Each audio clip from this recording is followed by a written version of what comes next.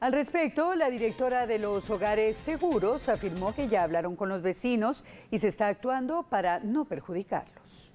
El día sábado ingresó una adolescente en el día viernes por la noche y el día lunes en la mañana pues ella eh, tuvo una crisis y ella quería eh, salir de la, de la residencia.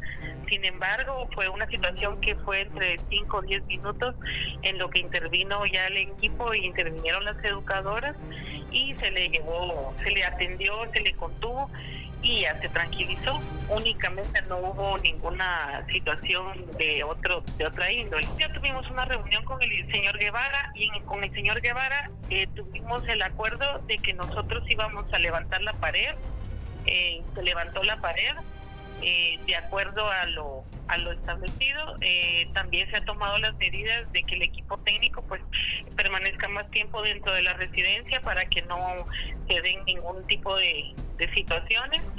Y pues estamos en la búsqueda de otras residencias, sin embargo también lo hicimos de conocimiento del señor Guevara de que realmente eh, cambiar una residencia no es tan sencillo porque hay que buscar eh, alguna otra algún otro inmueble que nos pueda permitir eh, poder hacer el traslado y adecuarla de acuerdo a las necesidades de las niñas.